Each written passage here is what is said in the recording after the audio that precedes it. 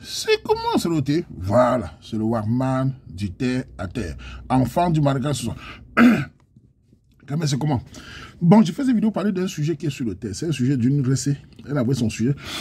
Elle avait son mari. Et elle a rencontré son mari sur la page. Déjà, il fallait venir témoigner. Vous, les Camerounais, il y a plein de mariages qui ne pas venir témoigner. Ça permet de stimuler, de montrer qu'on est là. Ça permet aussi de montrer aux gens que voilà, il faut croire à l'amour sur la page du Waman. C'est important. En tout cas, merci à ceux qui témoignent. Bref, donc c'est easy. La récit dit qu'elle a rencontré son gars sur ma page en 2019, je crois. Euh, un ou deux ans après, le gars s'est marié. Ils ont deux enfants de bas âge. Et apparemment, au début, quand ils ont parlé, euh, le gars voulait quatre enfants. Ils avaient conclu quatre enfants. Et là, elle change de bouche. Elle dit que non, elle veut faire toi parce que l'enfant l'a menacé. D'abord, je vais dire à tous les couples camerounais, à travers le monde, au Cameroun, partout. J'ai déjà dit, quand on se rencontre, il faut parler des choses essentielles. L'économie, le nombre d'enfants, l'homme et la femme. Il faut fixer un cap, même si après, ça peut avoir des problèmes. Mais il est important que chacun tienne parole. Sauf s'il y a la maladie, sauf s'il y a la santé. Dans le couple de la RC, euh, elle n'a pas un de santé. Je veux dire que ça l'a menacé pas un de santé. Donc, ma soeur, tiens parole. Ton mari veut quatre enfants fais-le si c'est possible. Si c'était la santé, je te dirais, fais attention parce que ça sert de vouloir mourir pour faire des enfants. Si ça ne va pas. Mais là, tiens parole, parce que quand un homme te dit il veut quatre enfants, il a dans sa tête. Et je ne souhaite pas qu'il aille faire dehors. Je veux que l'homme reste fidèle à sa famille, fait ses enfants avec la même mère, avec le même père. C'est important. Je veux aussi dire au couple ceci. Quand on se rencontre, il faut, il faut communiquer, il faut parler. L'économie est importante dans le couple camerounais. C'est l'une des choses qui détruit le Cameroun. Le nombre d'enfants. Il faut déterminer et surtout, il faut s'en occuper. On ne vit plus à l'époque où on pouvait faire des enfants comme on veut, comme en Afrique. Ici en Occident, c'est compliqué. Avec l'économie, il faut faire des enfants par rapport au nombre d'enfants, par rapport à la, moyens que vous allez vous en occuper. Il faut travailler tous les deux pour pouvoir donner une base. S'occuper d'un enfant, c'est quoi? C'est permettre qu'à demain, ils aient un jardin quelque part. On ne sait pas. Ils aient une maison, que vous allez vivre avec eux. Ils aient une base pour aller à l'école. L'école devient chère, l'université est chère. Il faut pouvoir tout ça économiquement. Vous ne pouvez pas faire 10 enfants. Qui va les nourrir? On ne fait pas des enfants pour vivre des allocations en Occident. Il faut travailler avec la femme et l'homme, s'organiser pour préparer la vie. Donc, il faut parler. Pour moi, quand on me demande souvent que combien d'enfants sont mieux dans un couple camerounais, un couple camerounais qui se respecte, que les deux se battent, je pense que minimum 3, maximum 4, 5 si c'est possible. Au-delà, c'est à beaucoup. C'est mon avis. Maintenant, chacun fait comme si vous avez les moyens. Mais il est important de faire 3, 4 et s'en occuper.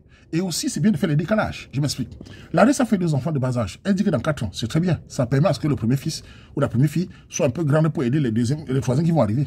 Au lieu d'enchaîner quatre d'un coup, qui sont petits, petits, ça devient compliqué. Et ce qui est bien aussi, c'est que j'encourage les hommes de s'occuper de leurs enfants. J'ai toujours dit ça. Nous n'avons pas nos mères, nous n'avons pas de père ici. Quand on se marie avec sa femme, il faut s'occuper des enfants, les hommes. Il faut aller chercher l'enfant à la crèche. Il faut nettoyer ton enfant. C'est important. Ça n'enlève rien sur la masculinité. Il faut cuisiner pour ton enfant quand tu es à la maison. Ça rapproche l'enfant. Ça permet à l'enfant de comprendre ce que le père pense. L'enfant dira, mon père était comme ça, mon père me faisait cela. Passez le temps avec vos enfants. Ne donnez pas toujours le cadeau aux femmes de remettre aux enfants. Soyez près de vos enfants, les gars. Parlez avec vos filles, avec vos garçons. C'est ça qui rapproche un enfant. Demain, il dira, mon père était comme ça. Mais si vous restez, vous fuyez, vous abandonnez l'enfant à, la femme tout seul. Elle est fatiguée. C'est pas évident. Et l'enfant grandit, ne connaît pas ta chaleur. Il ne sait pas que les anniversaires, les cadeaux, c'est toi qui achetez ça. Donc achetez-vous mais les cadeaux, les gars. Accompagnez l'enfant au football, accompagnez la fille au sport, allez partout avec vos enfants. Quel bonheur d'être au stade ici en Occident quand tes enfants jouent. Quel bonheur d'être dans une salle de sport que ta fille est en train de danser ou de faire. C'est important, les gars.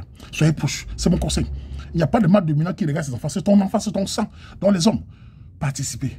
Écoutez vos enfants. Parlez votre langue. Transmettez la culture. Poussez l'éducation loin. L'éducation, c'est la transmission de ce que, ce que tu es. C'est mon conseil. Ne laissez pas les femmes s'évancer parce que quand on fait l'enfant, c'est l'homme et la femme.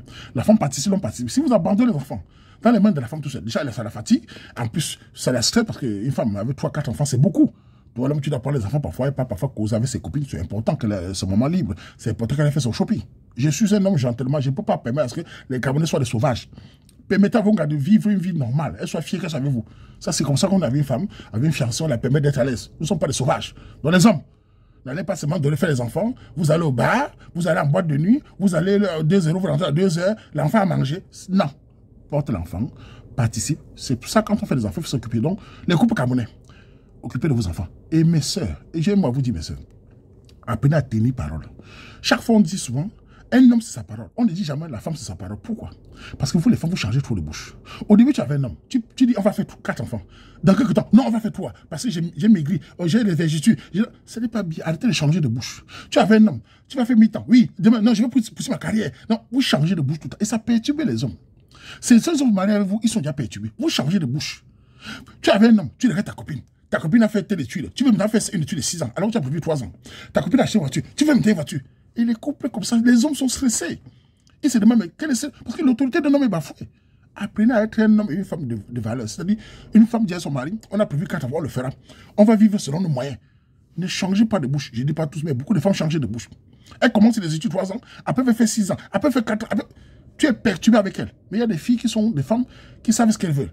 Elle avait toi, elle a dit 3 ans, c'est 3 ans. Elle a dit les enfants, comme ça tu es tranquille. Donc, et des femmes de valeur, tenez vos bouches. Comme les hommes doivent tenir les bouches. Toi, l'homme, tu ne peux pas dire à une femme qu'on fait toi, et demain tu dis 6. Non. Tu as dit toi, vous avancez ensemble. Si elle est d'accord, tant mieux. Pour la soeur, si ton mari est d'accord, mais si ta santé est menacée, si c'était le médecin, je te l'ai dit non, parce que ça sert à de faire ça, et tu t'aimes, parce que ça sert à de vivre. Voilà, le coup de risque. Donc, ensemble, les gars, les couples camerounais, tous les deux dans l'Occident, copier la technologie et non la culture. Soyez fédérateurs, soyez communicants l'homme et la femme. La femme respecte l'homme, l'homme respecte sa femme. Vous faites l'économie pour les enfants. Ne bombardez pas les enfants comme ça pour attendre les allocations. Sortez tous les matins. Sortez tous les jours. Madame travaille à mi-temps si c'est possible, si tu as acheté la maison, tout ça. L'homme travaille à temps plein, l'homme travaille plus. Vous mettez l'argent par terre. Ne jonglez pas. Ne faites pas les 1 plus 3 par derrière. Avancez ensemble. C'est mon conseil.